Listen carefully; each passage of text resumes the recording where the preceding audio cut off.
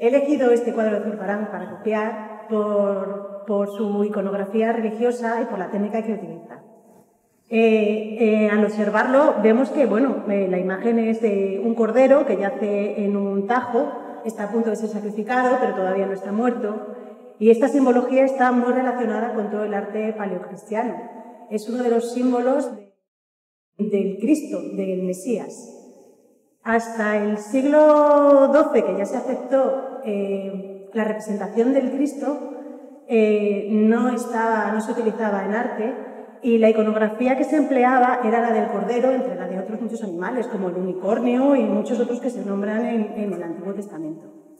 O sea que es una, es una iconografía que viene ya desde el Antiguo Testamento y ha ido evolucionando eh, desde el arte paleocristiano y duró durante toda la Edad Media.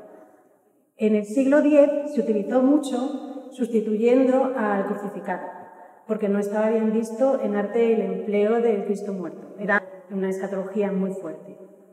Eh, fue a partir del siglo XII cuando empezó a aceptarse esta iconografía en arte.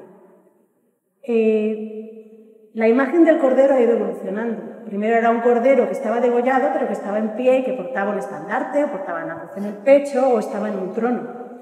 Zurbarán le da una vuelta de tuerca a lo que es eh, eh, la iconografía.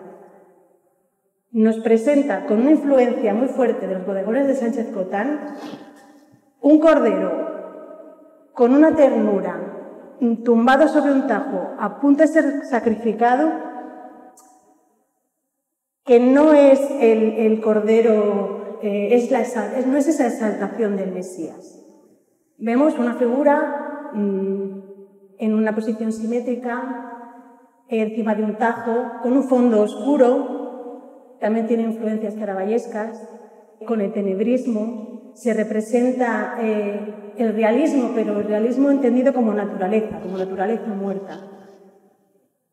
Y nos aproxima esa realidad el hecho de que eh, en el tajo sobresalgan las patas del cordero. Los símbolos que nos indican que es el cordero de Dios nos viene indicado en la frase que está puesta en la parte inferior, que es una transcripción del texto de Isaías del Antiguo Testamento, y también por el halo que está sobre la cabeza del cordero. Eso nos indica ese misticismo y esa representación divina.